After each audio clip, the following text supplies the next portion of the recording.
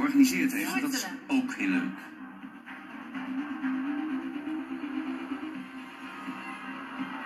You need 183 points to win. Uh, Anything less?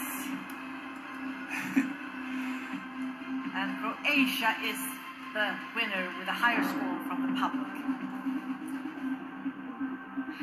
Croatia or Switzerland? Are you ready? Okay, zeker. Here we niet go. rekenen met de rekenmachine. Juist niet. Switzerland. From the public, you have received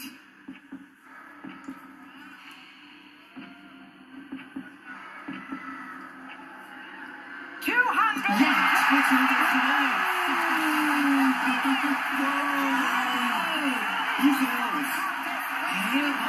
Gewonnen.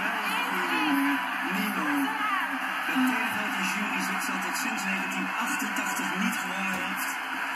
Celine Dion en de allereerste Songfestival ooit won in 1956. Liz Assia. De geweldige winnaar van dit festival.